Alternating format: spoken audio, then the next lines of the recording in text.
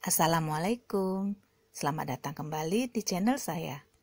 Di video sebelumnya, video part pertama, saya sudah menjelaskan sedikit tentang nutrisi AB Mix dan juga sharing bagaimana cara meracik pekatan A pada AB Mix.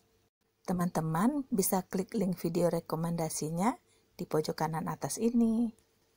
Dan juga video berikutnya nanti tentang cara meracik cairan siap pakai AB Mix. Link-linknya nanti akan saya tulis di description box ya.